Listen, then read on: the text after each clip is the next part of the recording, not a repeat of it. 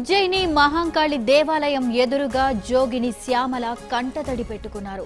ఎన్నో ఏళ్ళుగా బోనమెత్తుకుని వస్తున్నామని వీఐపీలు ఉన్నారంటూ అమ్మవారిని దర్శించుకోనివ్వకుండా అడ్డుపడుతున్నారని ఆగ్రహం వ్యక్తం చేసింది. గొప్పగా ఏర్పాట్లు చేశామన్న ప్రభుత్వం తెలంగాణ ఆడపడుచులను అవమానపరుస్తుందని ఆవేదన వ్యక్తం చేసింది. ప్రభుత్వం పడిపోతుందంటూ ఆగ్రహం వ్యక్తం చేస్తూ శ్యామల అక్కడి నుంచి వెళ్ళిపోయింది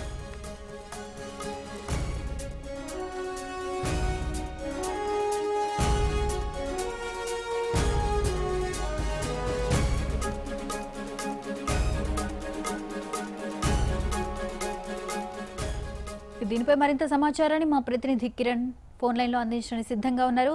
కిరణ్ జోగిని శ్యామల కంటతడి పెట్టుకోవడం వెనుక అసలు రీజన్ ఏంటి?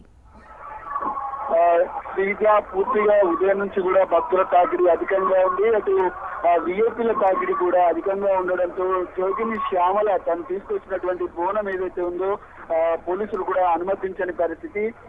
విఐపీ గ్యాలరీలోకి తనను అనుమతించాలని కోరిన కూడా పోలీసులు కూడా చాలా దాదాపు గంటన్నర పాటు బయట తనను ఆపినట్టుగా సమాచారం అందుతుంది. అంతేకాకుండా పూర్తి స్థాయిలో తాను ఆ, బోనం తీసుకొచ్చే సందర్భంలో పోలీసులు కూడా ఆదుకున్న పరిస్థితి. అయితే తెలంగాణ ప్రభుత్వం దీనిపైన గొప్పగా ఏర్పాట్లు చేశామని చెప్పుకుంటుంది. కానీ ఎక్కడికక్కడ నన్ను పంపిస్తున్నారు. కానీ గత కొన్నేళ్ళుగా నేను ఆ, జోగినిగా ఉన్నప్పటికీ తన బోనం కూడా సమర్పిస్తున్నాను. ఇప్పటి వరకు నాకు ఎలాంటి అవమానం జరగలేదు. కానీ ఈ విషయంలో మాత్రం ప్రభుత్వం తీవ్ర స్థాయిలో ఇలాంటి చర్యలు చేయడం పట్ల తాను అసహనం వ్యక్తం చేసింది.